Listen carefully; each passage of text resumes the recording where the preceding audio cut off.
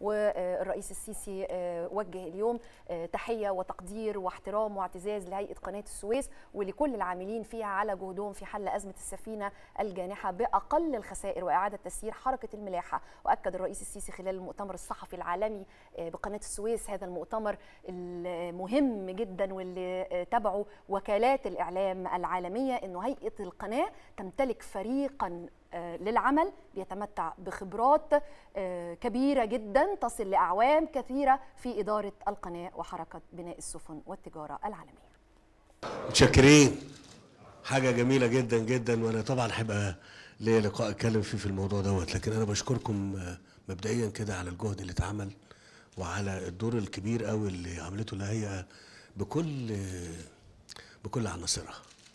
كان منظر محترم. بيدل على خبرات كبيرة وقدرات كبيرة.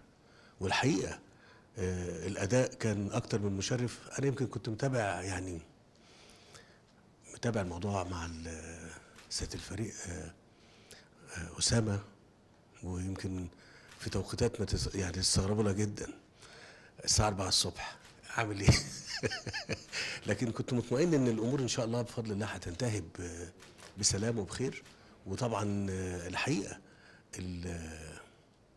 إن شئنا إن إحنا نسميها أزمة يعني اللي حصلت ديت أكدت حاجة يمكن نكون إحنا ما كناش نتمنى إن يحصل حاجة زي كده ولكن المقادير بتعمل أو الأقدار بتعمل أعمالها يعني أو أفعالها. فإحنا لكن هي شورت شورت أو أكدت نبهت على الدور الكبير والأهمية الكبيرة جدا لواقع بقى له 160 سنة تقريبا. يعني إحنا 1869 النهارده يعني ممكن نقول 150 160 سنة قناة السويس دي اترسخت في وجدان صناعة صناعة التجارة العالمية كده.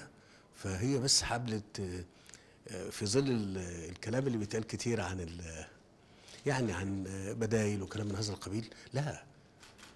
لا مرفق عالمي للتجارة الدولية.